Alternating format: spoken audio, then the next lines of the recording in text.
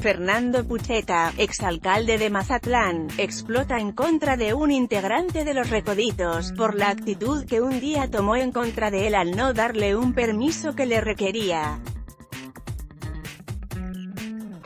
Es a través del programa Pucheta, una mano amiga, que lo hace público. Foto, captura de pantalla Fernando Pucheta comenta que un día llegó a la presidencia de Mazatlán Luis Ángel Franco, vocalista de Los Recoditos, a pedirle un permiso especial. Lo atendió, pero no le fue posible darle luz verde a su petición. Me fui a pedir un permiso, y no se lo di. Entonces sacó un video en contra mía, donde me atacaba hábilmente, eso es de gente mal agradecida.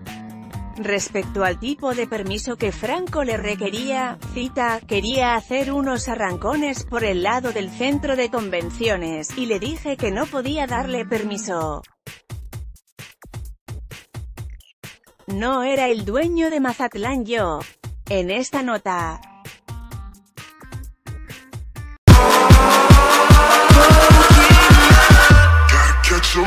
I